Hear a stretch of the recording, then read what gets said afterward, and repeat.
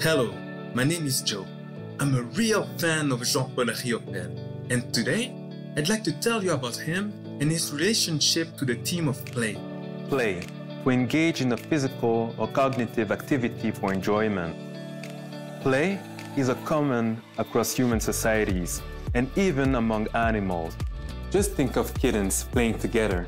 While the ease of play is often associated with the innocence of childhood, it undoubtedly fills everyone with wonder, and artists are no exception.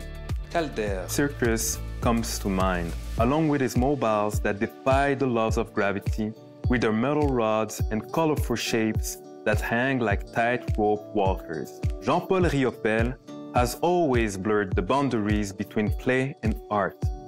The artist loved the clowning around.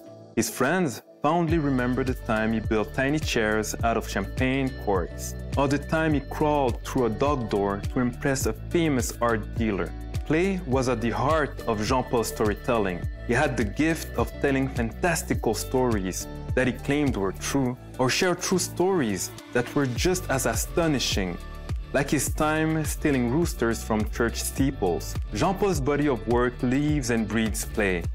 He created a series of paintings featuring string games known as Ajaraq in Inuktitut, a traditional game that portrays Inuit life stories and legends.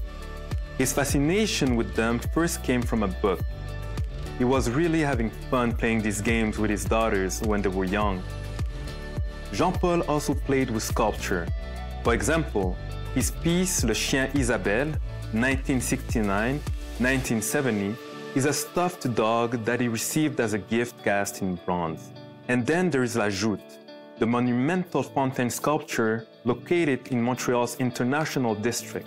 It was created as a nod to capture the flag, which was a very popular team sport in schoolyards at the time. Comes as no surprise that Jean-Paul's interest brought him to the surrealists, French poets and artists who placed imagination at the heart of their creative processes by creating games such as Cadavre Exquis.